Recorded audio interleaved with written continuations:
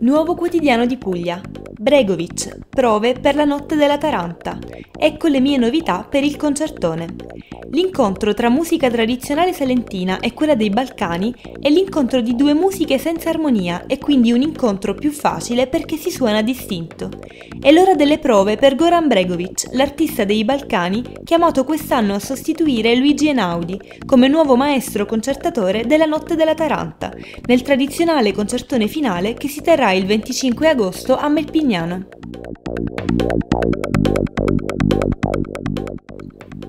Lecce prima. Ecstasy e Maria per la notte più lunga, presi anche due diciottenni. Originari di Napoli, sono stati denunciati insieme ad un amico di 23 anni. Avevano MDMA. Altre 15 pasticche erano nascoste nel bagno di casa. A Copertino due arresti. Da una Toyota vola nelle campagne un etto di marijuana.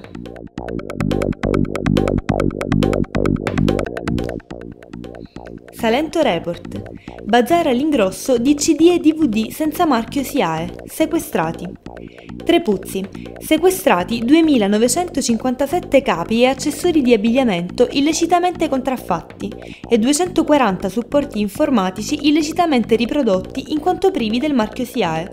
Due cittadini senegalesi avevano allestito nel proprio appartamento un vero e proprio bazar all'ingrosso. Il Paese Nuovo. Condotta sottomarina per lo scarico dei reflui. Romina Power scrive a Vendola. Lettera inviata da Romina Power al quotidiano romano Il Trastevere, già inoltrata e indirizzata al presidente Vendola, in merito alla questione Porto Cesareo nello specifico progetto di condotta sottomarina per lo scarico dei reflui.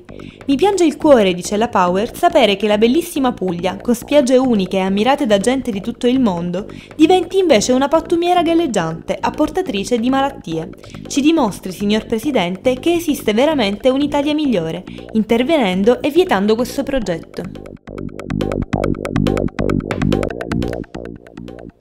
Il Tacco d'Italia, una valle di memorie.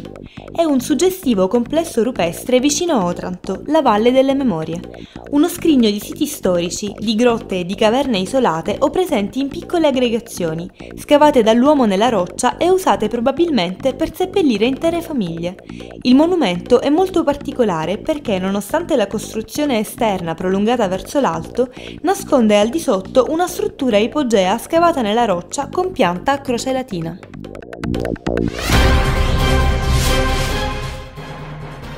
Un saluto a tutti i salentini in Italia e nel mondo. Appuntamento a domani con la rassegna stampa di salentoreport.it.